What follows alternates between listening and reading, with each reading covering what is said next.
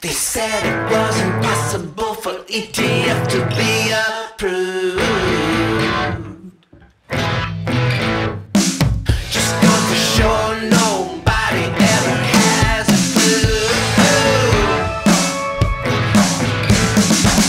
There were a few exceptions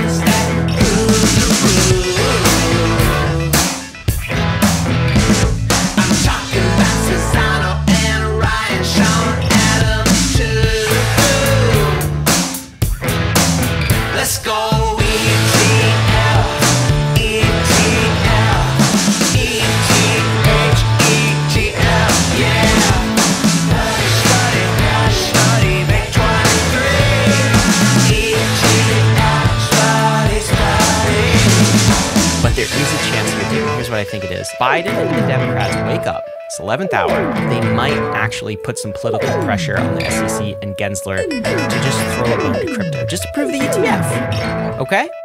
Hopium for sure. Yeah, pa- pass whatever you're smoking. Looked out my window this morning, I was thrilled to see